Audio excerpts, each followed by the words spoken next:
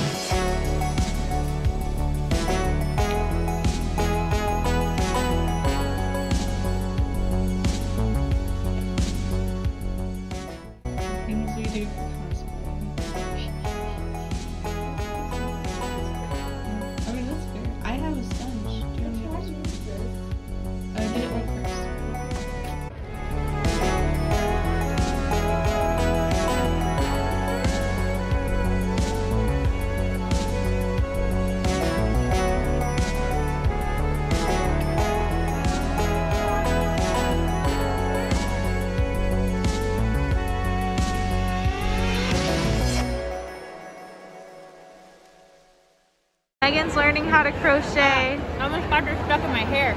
Yep, at like five o'clock on Saturday. I'm gonna see if I can make this little ghosty. yeah, that is so cute. Did they use like yarn for the little cheeks? It looks like it. It's adorable. Maybe they just like stuck it through. Maybe. Nope, lost it again. I got this.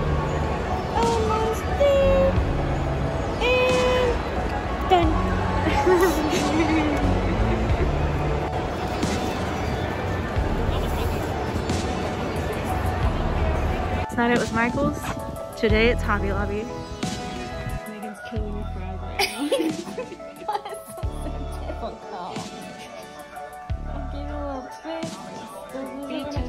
I got it. I done Are you sure? I was kind of cute. Okay, there we go.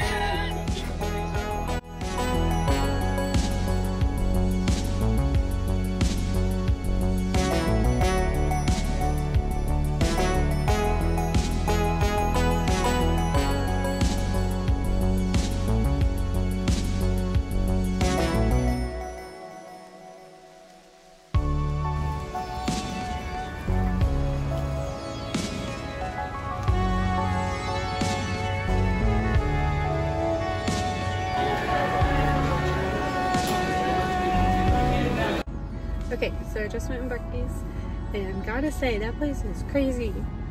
It's like a gas station, but also a Cracker Barrel gift shop, um, and kind of Walmart.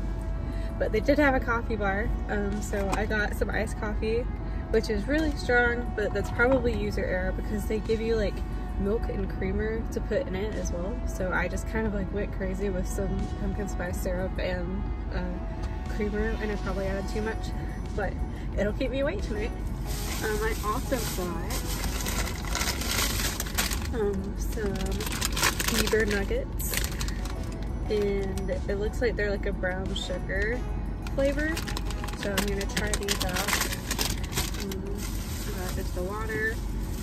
I got a club milk, um, which looked good, and I got a hot apple pie.